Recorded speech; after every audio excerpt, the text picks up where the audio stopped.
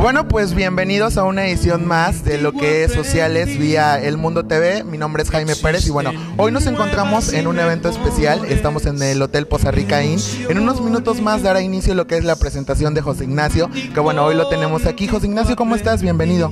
Muy bien, Jaime. Hola, muy buenas tardes a todos. Él es José Ignacio, eh, bueno, es aspirante ya a La Voz México, la segunda edición. Y bueno, eh, platícanos de ti, José Ignacio, cómo es el procedimiento. Primero, háblanos de ti. Platícanos a la gente, bueno, que nos va a ver esta entrevista, platícanos acerca de ti. Sí, claro, pues yo, yo nací aquí en, aquí en Poza Rica, Veracruz, el 31 de julio de 1989, ya voy a cumplir años. Y pues aquí empecé con estudios de música, de canto, de guitarra, ¿no? Con varios maestros. Y aquí estudié kinder, primaria, secundaria, prepa. Pues ahora sí que todo, ¿no? Aquí, aquí me crié, aquí viví. Me fui a estudiar la carrera México y ahí empecé a tomar un... No, no estudié la carrera de música, estudié finanzas, ya la terminé el año pasado. Y y ahí fue donde yo empecé a tomar un poco más en serio las clases de guitarra, de canto, ¿no? Me metí un poco más a fondo, las dos cosas al mismo tiempo, las, tanto mi escuela de finanzas como, como la música. Y, y pues siempre me ha apasionado, ¿no? Este es lo que más me gusta hacer, digo, las finanzas me gustan, esto me apasiona, me encanta. Y pues se presenta esto del casting. Yo fui al casting a ver a Andrea Araujo, la- una amiga de aquí de Poza Rica que estudiamos juntos en la escuela. Y, y al entrar había ahí como un escenario, ¿no? Y unas personas de, de Barcel. Y, al llegar entrabas, tú entregabas tu boletito y te decían, oye, ¿quieres hacer una, audi- una audición para La Voz México 2? No, pues claro que sí, ¿no? Nos apuntamos, llenamos todos los papelitos y todo. Y hacías una cola, te formabas, pasabas a cantar. Podías escoger una pista para que te pusieran y te acompañaran al momento de cantar. Pero, pero al final del día la edición, como lo vieron en los videos que seguramente muchos de ustedes votaron, era a capela, ¿no? Ellos cortaban el, el audio y, quedaba solamente la voz. Yo entré a unas audiciones que, como todos saben, fueron por votos, ¿no? Hubo varios tipos de audiciones, unos en donde ibas tú a Televisa, hacías pues unas horas de cola porque era mucha gente la que estaba aspirando a entrar al programa y, pues ibas entrando y te decían, ¿sabes qué? Me gusta, no me gusta y te iban avisando como, conforme ibas avanzando las siguientes rondas. Pues nosotros, mm, sin saber, fuimos a dar a la, de votos, ¿no? Pues, ¿y ahora qué? ¿No? Les platico la primera etapa, fueron seis etapas durante las, las de votos. La primera etapa yo ni caso hice, la verdad. A lo mejor empaté a cero votos y echaron un volado porque ni yo me metí ni yo me metí a votar por mí, ¿no? Me llega un mail a los días y me dice, ¿sabes qué? Que avanzaste a la siguiente ronda y yo, no, pues qué padre, ¿no? Esto, esto es por algo. Y fue que le platiqué a mi familia, oye, fíjate que me acaba de llegar este mail de los de Barcel. Yo hice la audición en diciembre, ¿no? Estamos hablando que fue hace menos de un mes. Entonces, pues como que yo sentía que ya había pasado, que no iba a pasar nada y como que estaba un poco desanimado. Fuimos avanzando, fuimos diciéndole a todo mundo, oigan, que siempre sí, y sí se puede, y vamos bien, y hay que votar, y hay que seguir votando, y hay que seguir votando.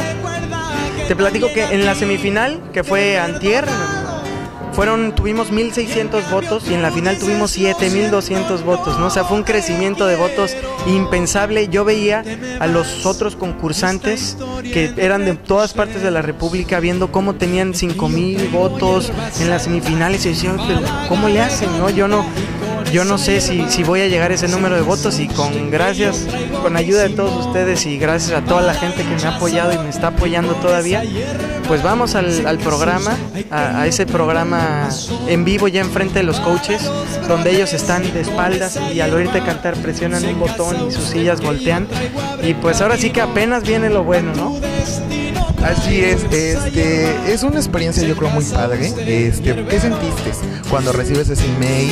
Dices que bueno, fue en diciembre, ahorita ya julio, ahorita bueno, pues ya eh, el proyecto ya está en puerta. Próximamente bueno, pues te vamos a ver en la televisión, en el programa y es muy padre, pero bueno, tú como talento 100% posarricense, porque bueno, es de aquí de Poza Rica y bueno, muchísima muchísima gente este, no sé, ¿qué sientes tú? To- todo esto que te está pasando.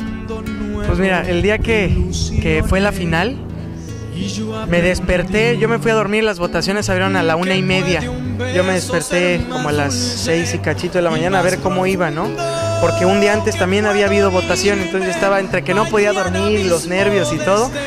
Y pues nos despertamos, íbamos en tercer lugar y fue donde dije, ah, caray, sí se puede, ¿no? Y vamos a darle, y vamos a darle, y vamos a darle, y toda la gente con su apoyo nos fue apoyando, fuimos subiendo el número de votos y te voy a decir algo, todavía no me la creo.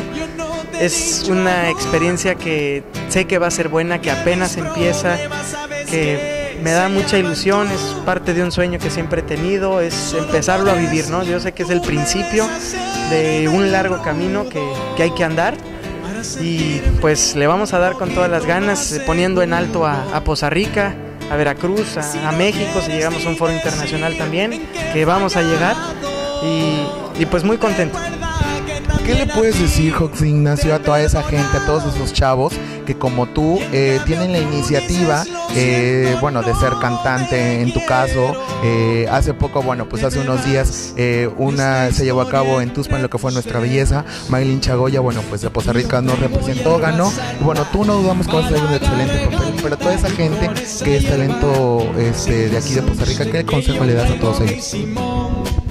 Pues mira, no es como que tenga yo mucha experiencia en esto porque apenas voy a empezar, pero lo que sí les digo es que si tienes un sueño no hay que dejar de perseguirlo. ¿no? Los sueños pues, se consiguen con trabajo, primeramente, con apoyos, con ayuda y pues en mi caso muy agarrado de Dios, ¿no? pidiéndole mucho que me ayude, que me apoye y, y pues han salido bien las cosas siempre se nos han dado los resultados, te digo, con mucho trabajo, mucho esfuerzo, altibajos, a veces pues, te da mucha impotencia, te da mucha tristeza, sientes que no lo vas a lograr y cuando menos ves ya estás ahí, ¿no?